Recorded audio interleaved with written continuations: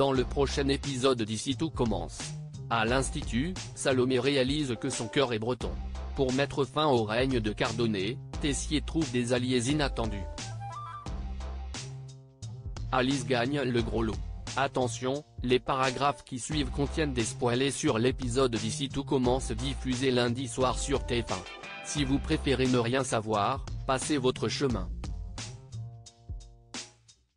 Lundi 27 mai dans Ici tout commence. Charlène est de retour ayant appris grâce à Zachary que Cardonnet avait envoyé un élève mettre le feu au bleu pré, Tessier en parle avec Constance. Il regrette de ne pas s'être méfié plus tôt de sa rivale par rapport au projet de ses rêves. Désormais, il a l'intention de trouver l'élève complice pour la faire tomber. Pour ce faire, Tessier a l'idée de retourner à l'institut sous prétexte d'animer une masterclass. Constance lui apporte son soutien le plus total dans sa démarche, prête à différer leur départ dans les Landes. Tessier se rend donc à l'institut afin de demander à Cardonnet d'organiser une masterclass. Clotilde plaide en sa faveur, estimant que cela permettrait de créer un passage de flambeau plus apaisé entre l'ancien directeur et la nouvelle directrice. Cardonnet accepte de lui accorder deux semaines de masterclass. Une fois seul avec Tessier, Clotilde espère qu'il n'a rien d'autre en tête. Ce dernier lui assure que non point un peu plus tard, les élèves sont réunis à l'amphithéâtre où Cardonnet annonce que certains d'entre eux auront la possibilité d'assister à une masterclass de pâtisserie animée par Tessier dès la semaine prochaine. La masterclass est ouverte à tous. Les meilleurs candidats seront sélectionnés lundi.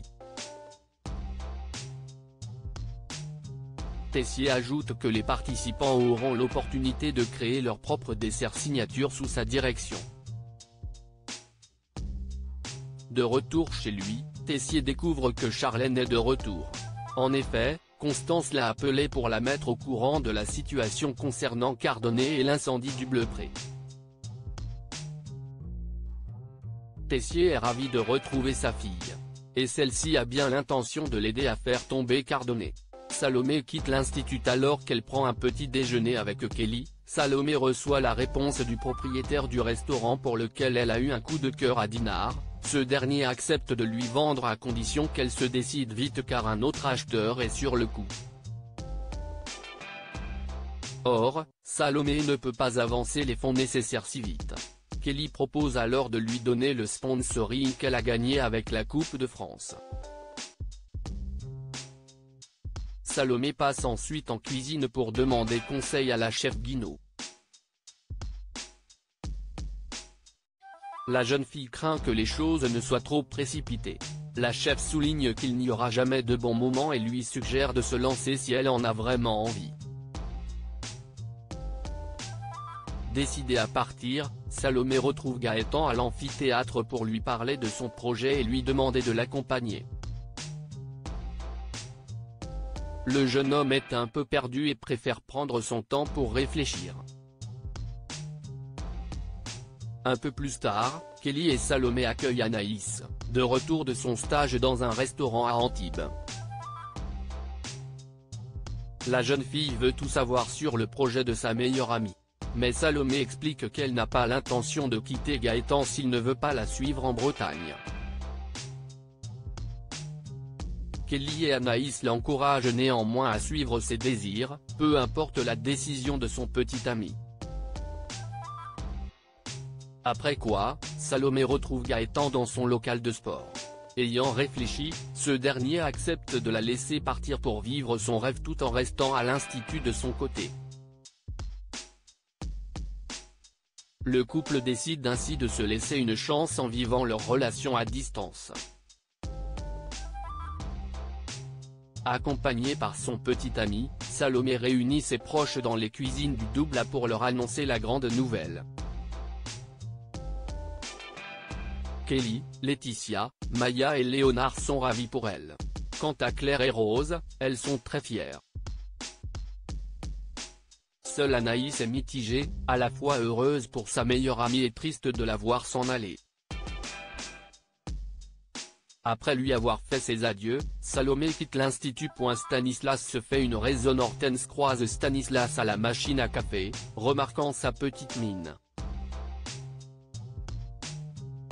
Le maître d'hôtel confirme ne pas être en forme car il n'a pas bien dormi suite à la discussion qu'il a eue avec Alice la veille selon laquelle sa femme n'avait quasiment aucune chance de se réveiller de son coma. Hortense explique qu'Alice ne sait pas mettre les formes dans ces cas-là, mais qu'elle n'a sans doute pas voulu le blesser. Stanislas reconnaît d'ailleurs qu'elle a raison, il sait au fond de lui que sa femme ne se réveillera pas et qu'il doit aller de l'avant. Plus tard, Hortense retrouve Alice dans le parc. Celle-ci lui annonce qu'elle a gagné le premier prix de la tombola la veille, une voiture décapotable. Au même moment, Antoine vient lui annoncer que Cardonnet a décidé de prolonger son contrat à l'Institut en tant que professeur de pâtisserie. Alice en est très étonnée puisque Cardonnet ne change jamais d'avis d'habitude. Alice interpelle Stanislas pour lui avouer qu'elle avait tort, la chance existe même quand elle est infime. Elle l'incite donc à ne pas perdre espoir par rapport à sa femme. Stanislas est touché.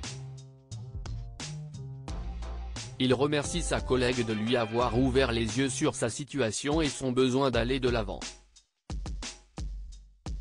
Le jeune homme fait ensuite une blague sur les maths qui fait rire Alice.